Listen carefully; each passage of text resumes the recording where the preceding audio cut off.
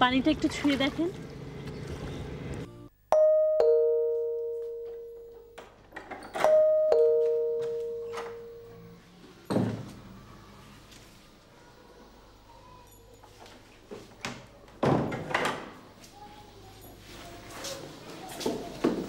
কি রে? আজ দুপুরে খেতে হইলি না একটা ফোনও করলি না। কাজ ছিল মা। খাবার দেবো এখন? না আমি খেয়ে এসেছি। কোথায় খেলি?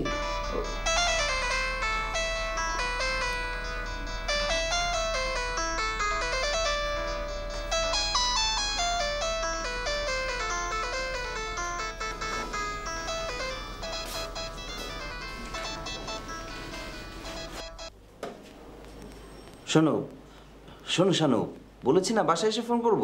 কই তুমি করলে না তো? আমি তো মাত্র এলাম। আমাকে নামিয়ে দিয়ে গেছো সেই কখন? এতক্ষণ লাগল বাড়ি ফিরতে? একটা জায়গা হয়ে এসেছি।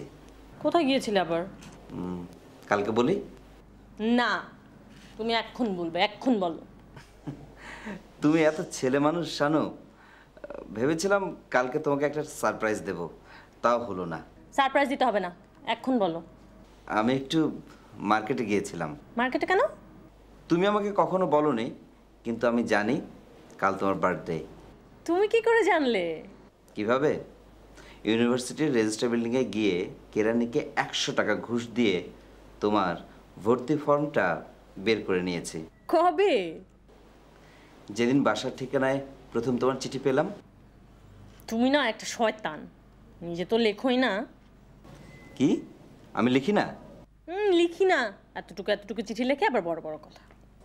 কিন্তু তুমি কেন বললে না? কাল তোমার বার্থডে। এই কি কিনেছো বলো না? আশ্চর্য। না না আমি কিছু বলব না এখন।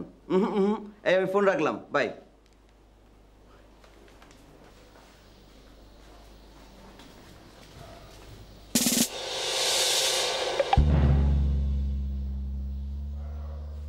মা?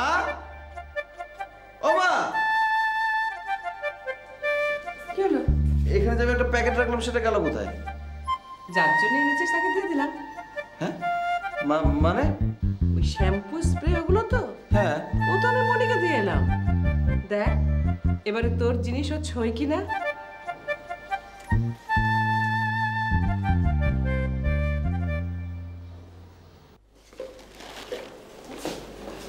এবার একটু পড়তে বস।